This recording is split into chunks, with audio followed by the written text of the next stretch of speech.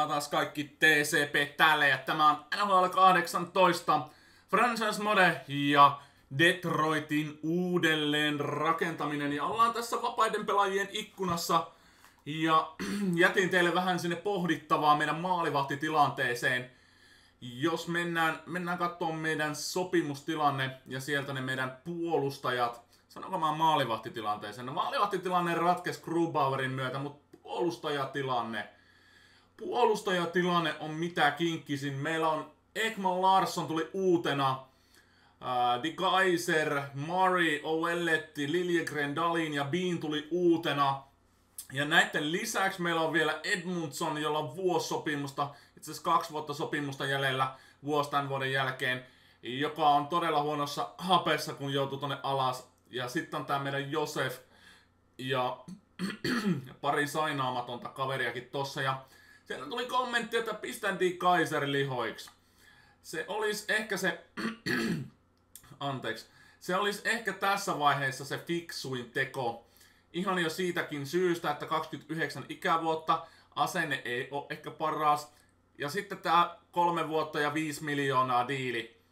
Toki me maksetaan tuolla Ekman Larssonille 7,5, mutta mä en kuvitellut, että mä sen saisin. Mutta onhan se 88 overall tarkka eliittipotentiaalia selkeästi meidän ykköspakki.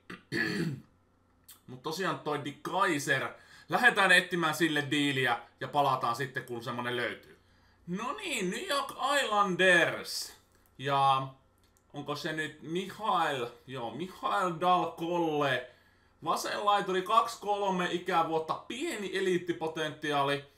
Ähm, mitä sillä oli? Kaksi vuotta sopimusta jäljellä, 2,4 miljoonaa.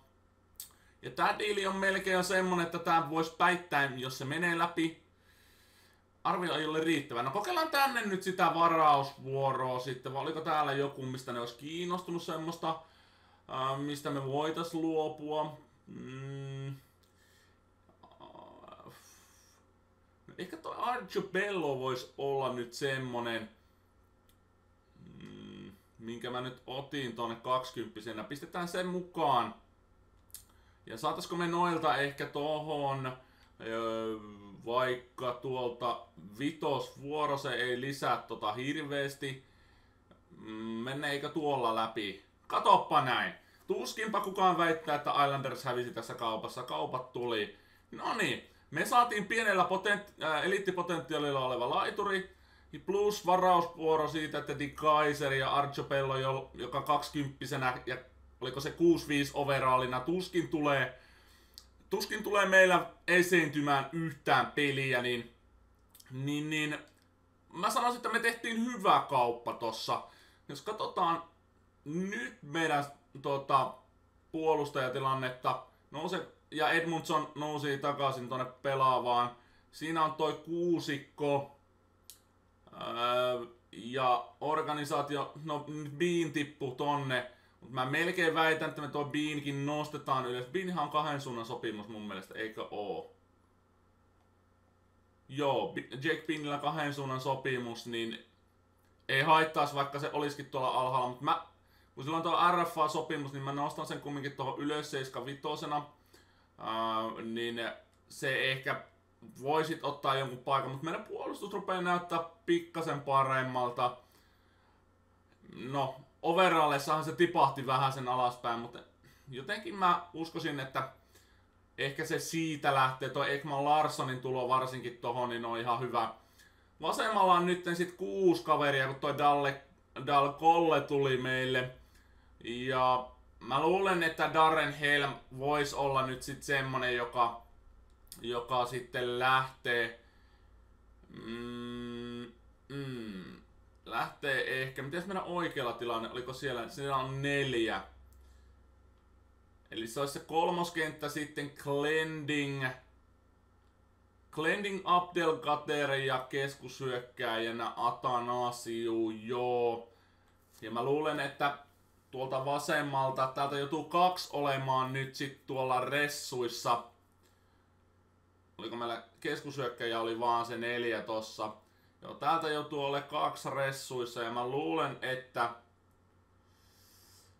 mm, Helm on niistä se toinen.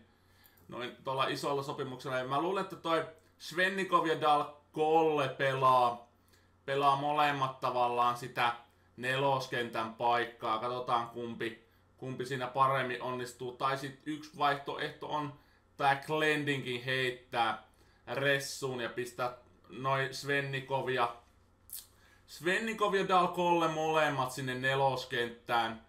Neloskenttään ton Laurin kanssa. Joo, mä luulen, että me tehdään niin. Mitäs meillä organisaatiossa, oliko täällä... Niin, no toi Boys olisi tietysti nostaa... Mä haluaisin melkein ton Boysin nostaa ylös siihen nelosen Svennikovin ja Dalkollen kanssa, joka tietää sitten, että meidän sentteri, sentteripuolelta täältä, niin joku olisi se ekstra hyökki, varmaan Lauri, jolla vuosta sopimusta jäljellä. Lauri olisi se ekstra hyökki ja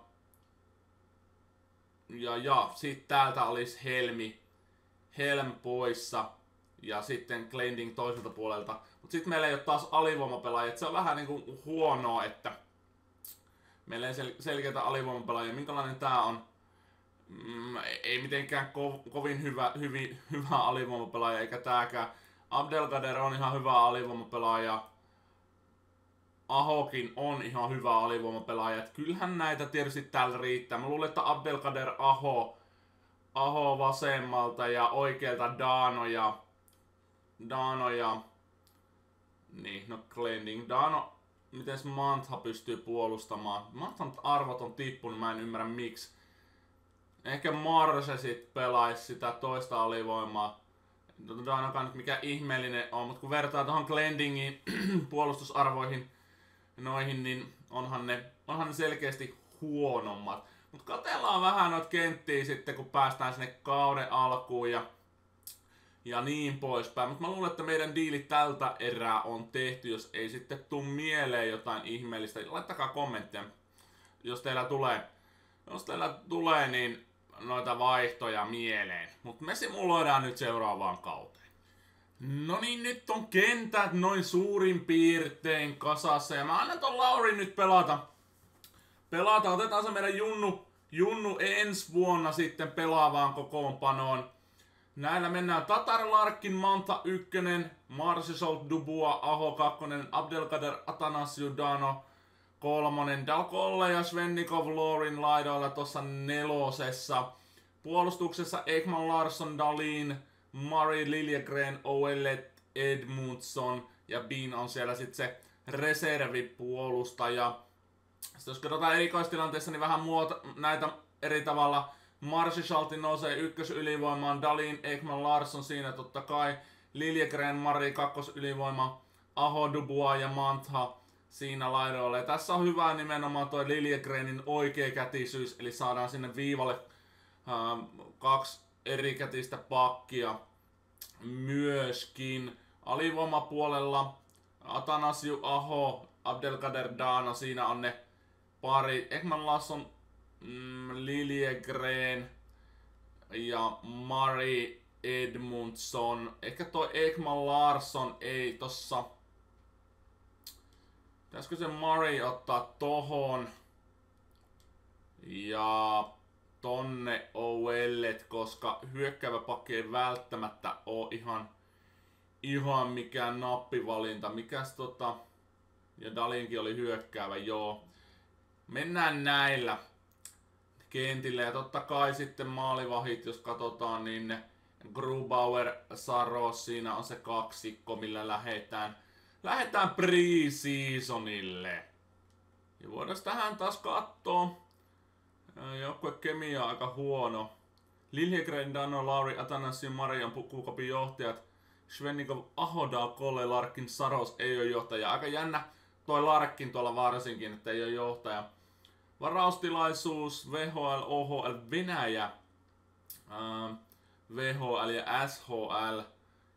Eli VHLstä on pari pelaajaa, OHLstä yksi. OHL maalivahit näyttää olevan tällä hetkellä ne, mistä kannattaa varmaan aloittaa, niin saadaan ne pois sieltä. Tuolla on kolme, kolme kärkipelaajaa. Sitten voidaan katsoa Venäjältä puolustajia.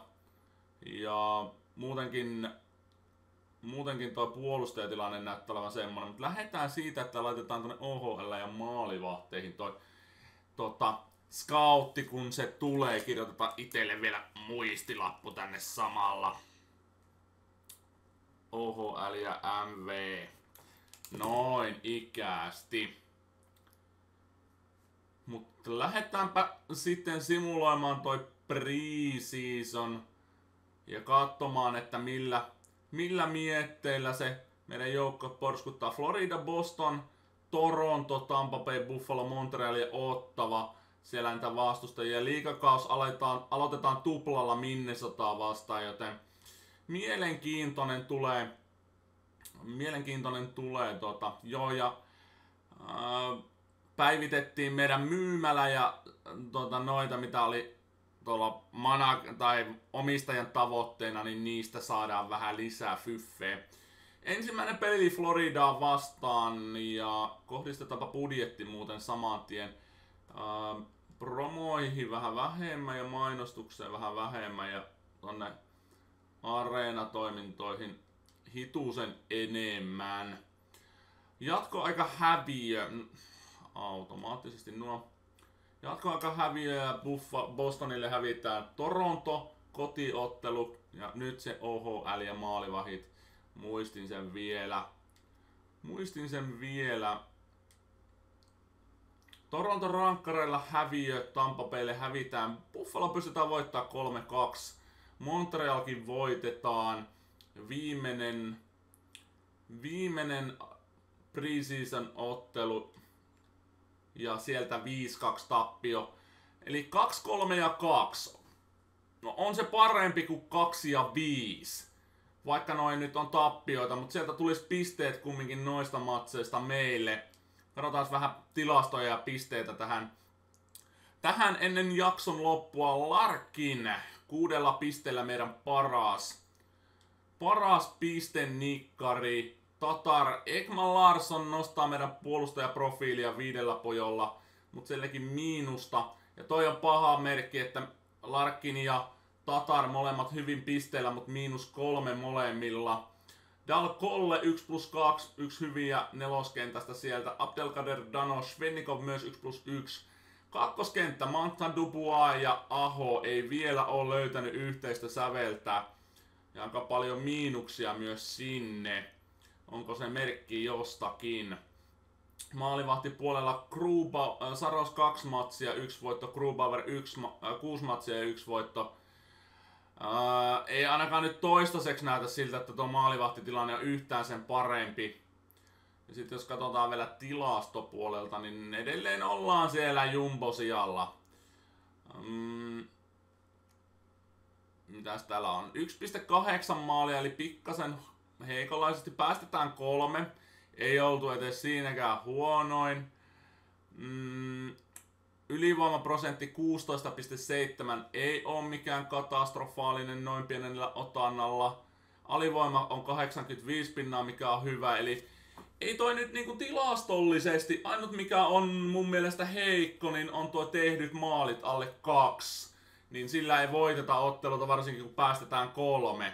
Eli näin jos saadaan sinne molemmat kahteen ja puoleen, ja mielellään tää vähän yli, yli kahden ja puolen lähemmäksi kolmeen, niin sitten mä sanoin, että sit me ollaan oikealla tiellä, mutta näin pienellä otannalla, niin en mä usko, että toi, toi niin lupaa mitään hirveän huonoa ainakaan tällä haavaa ollaan selkeästi kumminkin sitä maalivahtipuolta petrattu. Puolustajatilannekin mun mielestä on petraantunut.